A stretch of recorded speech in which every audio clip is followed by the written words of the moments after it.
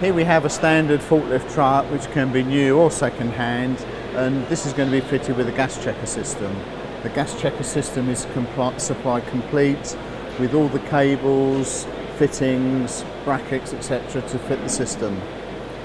The Gascheka system will detect the presence of gas in the atmosphere and will give us an alarm or shut down uh, should the gas concentrations rise too high.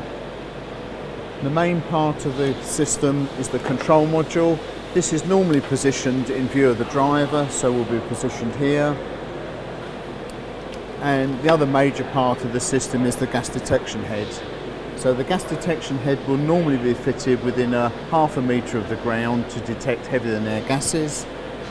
And that will feed information to the control unit, which will then give you the alarm or shut down as required.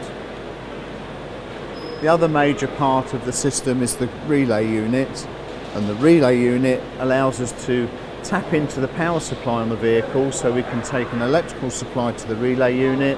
This will then be redistributed to the control module and to the gas sensing head and will give us an output signal to give us the alarm on the vehicle. Gascheka has the ability to um, offer a volt-free relay whereby we can now interact with the vehicle and automatically shut the vehicle down should you detect gas.